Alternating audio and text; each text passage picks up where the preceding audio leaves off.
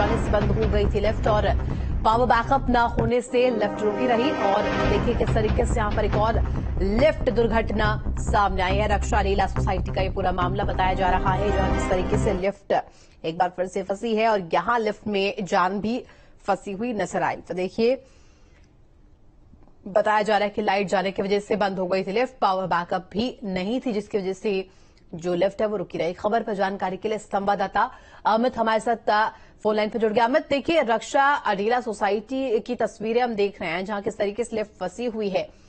आ, मामला क्या है ये पूरा और क्या अब जो बुज़ुर्ग अंदर फंसी हुई थी उन्हें निकाल लिया गया है?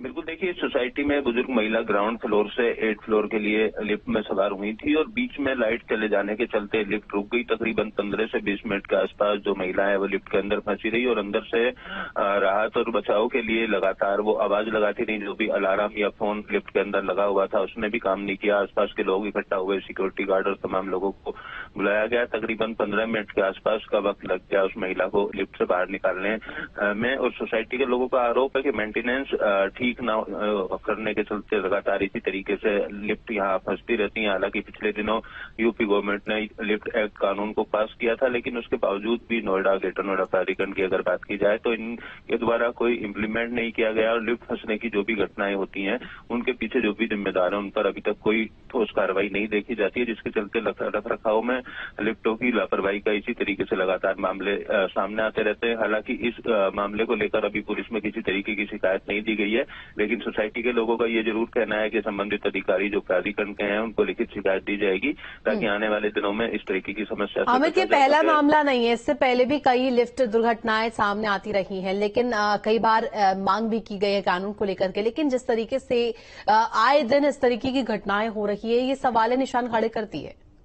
बिल्कुल देखिए तो तमाम सोसाइटियों में इसी तरीके से लिफ्ट फंसने के मामले तकरीबन रोज़ाना सामने आते हैं और कई सोसाइटी ऐसी हैं जिसमें थर्ड फ्लोर या फोर्थ फ्लोर तक रहने वाले जो लोग हैं वो लिफ्ट का प्रयोग करने से बचने और सीढ़ियों का इस्तेमाल कर रहे हैं क्योंकि लिफ्ट में फंसने से कई लोग काफ़ी देर तक वहाँ फंसे भी रहे और कई लोगों की जान भी अगर नोएडा ग्रेटर नोएडा की बात की जाए तो तकरीबन हम्म। तेरह से चौदह लोगों की जान भी लिफ्ट हादसों में अभी तक जा चुकी है बावजूद उसके ठोस कदम संबंधित विभागों की तरफ़ से नहीं उठाए गए कानून लागू किया गया हम्म। सरकार की तरफ़ से बना दिया गया, लेकिन अभी लागू उसको नहीं किया गया। अब देखना होगा कि कब तक संबंधित अधिकारी इस तरीके के हादसों में कमी लाने के लिए उचित कदम उठाते हैं, लेकिन सोसाइटियों में रहने वाले बुज़ुर्ग और खासतौर पर जो बच्चे हैं, वो इन दिनों लिफ्ट में सवार होने से काफ़ी डरे हुए हैं।